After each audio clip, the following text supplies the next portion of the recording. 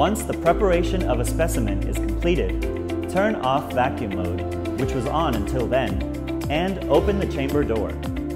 Next, place the specimen on the stage.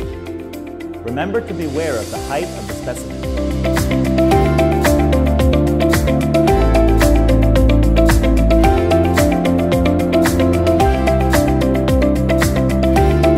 Close the chamber door after measuring the accurate height of the specimen on the stub and maintain the vacuum state using the vacuum on-off button. If the vacuum condition cannot be maintained, or in case the rotary pump or diaphragm pump make strange noises, check if the chamber door is properly closed. You can check the current vacuum state with the vacuum bar on the monitor. Once a 100% vacuum is attained, the vacuum bar will disappear, indicating that the equipment is ready for operation.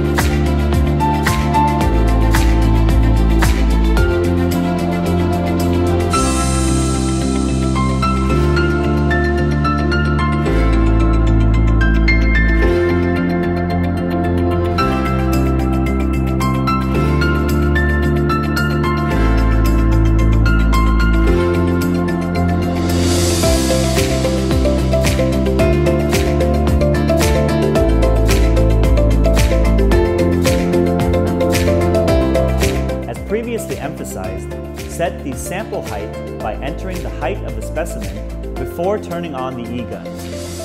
Then, move the Z-axis as needed to reach the height you want.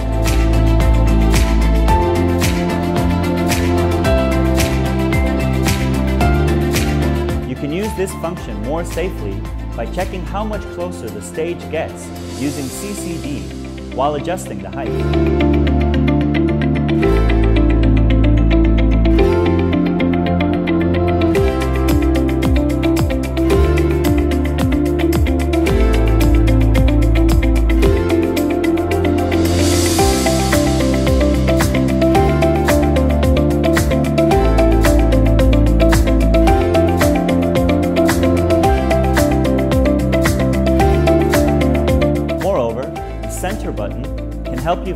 Specimen easily by sending the stage to the center of the chamber. This movement can also be checked with CCD.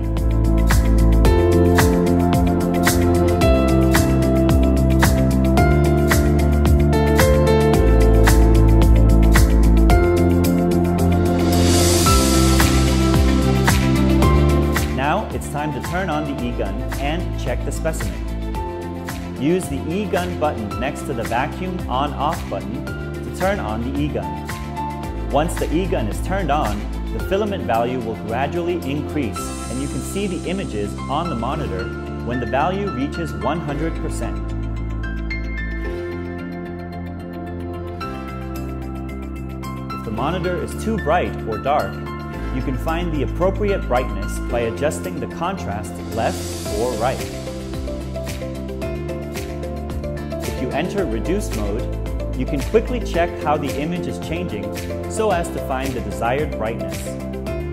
Aside from the adjustment of brightness, reduce mode can also be used to find the desired images by adjusting conditions such as focus or state.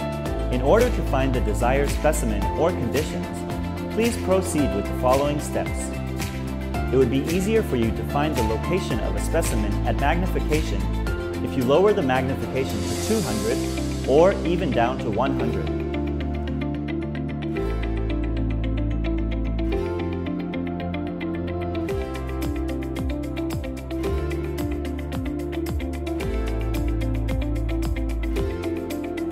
Once the magnification is lowered, double-click the image you want to find and move it to the desired location. It is recommended to use reduce mode or fast mode to look at the entire image on the screen when tracking down a specimen. After finding the location you want, focus the lens on the specimen using the focus function.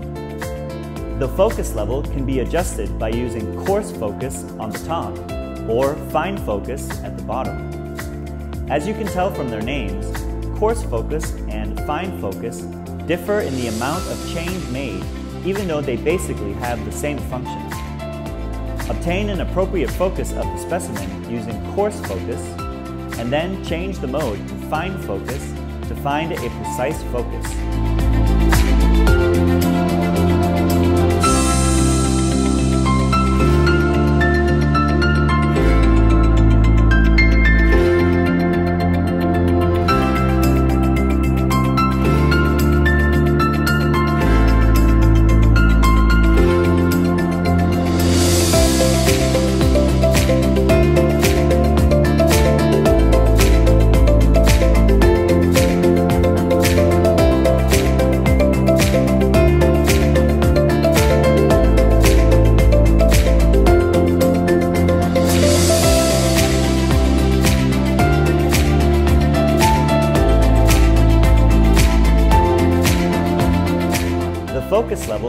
Adjusted with the mouse wheel. At 1000 magnification or lower, the change in fine focus is insignificant, possibly making the adjustment in fine focus mode meaningless. You will begin to see some meaningful changes at 2000 magnification and at 10,000 magnification or higher, where the adjustment to fine focus mode is essential. After the adjustment to fine focus mode is completed, you need to adjust the stig using the stig button next to focus. The stig feature is used to make the shape of the beam from above circular. When the beam takes the most circular shape, you can get the clearest image. These changes are not easily recognized at a lower magnification, but they become more noticeable as the magnification gets higher. Once the stig adjustment is finished, focus the lens on the specimen using fine focus as the final step. For your information, the focus and stig levels adjusted at a higher magnification remain accurate at a lower magnification. For example, when you want to take pictures at 10,000, 5,000, or 1,000 magnification, adjust the focus and stig at 15,000 magnification or a higher magnification than 10,000 magnification, and then take pictures at 10,000, 5,000, or 1,000 magnification. Now, let me tell you how to adjust the level of brightness in pictures. You can adjust brightness using the brightness feature on the monitor. If you use the contrast feature, you can achieve the same brightness for both the background and the specimen. Lastly, gamma is used to increase the contrast between black and white. There are no definite answers to how much these three conditions need to be adjusted. The adjustment can be made according to the preference of an operator or a reporter. Lastly, after scanning the pictures you want, you can take pictures using slow mode or photo mode. These two modes are different in the resolution of the resulting images and imaging speed. Slow mode is recommended for simply checking the images, and photo mode is recommended for taking pictures to be submitted. For more details, such as picture sizes, please refer to the operating manual.